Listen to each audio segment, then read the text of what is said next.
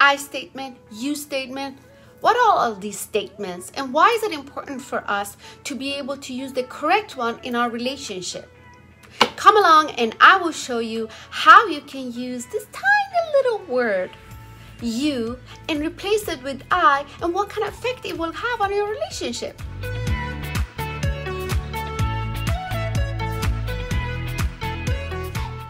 Hello and welcome to Therapy from Inside Out. My name is Azadeh and I am a psychotherapist here in Los Angeles. Every week I will bring you topics so you can feel good in the inside, so you can conquer the outside, my friend. And as I mentioned, we are going to dive into I statement versus you statement.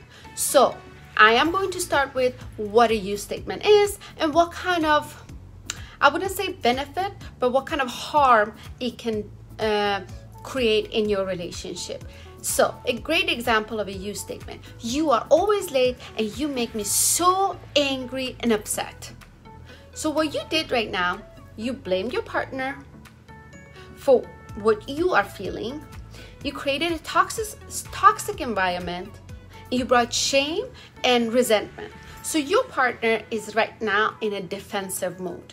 So, your partner's defenses have gone up.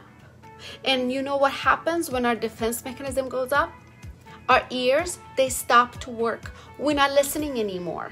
What we are doing, we're trying to defend ourselves. We're trying to defend our feelings. We're trying to defend what we stand for instead of listening to our partners because we have been attacked. We have been attacked by the enemy. Well, it's not the enemy, but at that point, it might feel like it is the enemy. So as you can see, it's not useful to use the you statement if you want to create a healthy relationship, healthy communication skills with your partner. So let's look into what an I statement is. So an I statement is, I feel worried when you are late. It makes me upset and I feel sad when I don't hear from you. So right away, you could see that it comes from my internal emotions.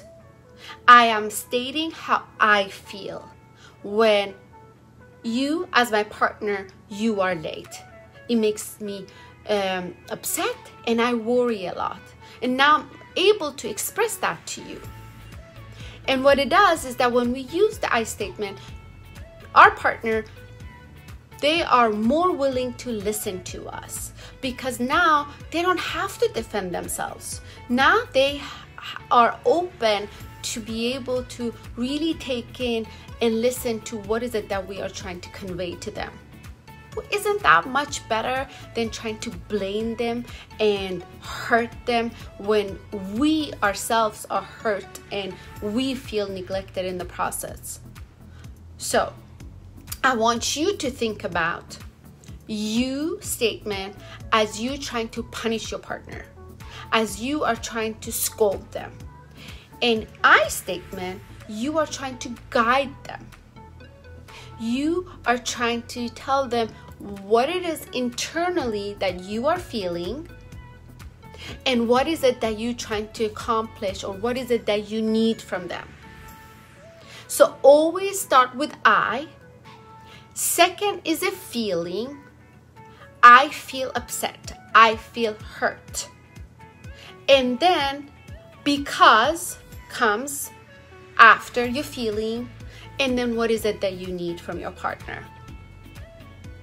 I hope this tool that we use a lot in psychotherapy for our clients can be helpful for you to better your relationship, to uh, create a space that you both can have a um, dialogue and really listen to each other because the key to um, change in any relationship is if your partner is there and listen and um, take in what kind of uh, feelings that you are experiencing at that moment.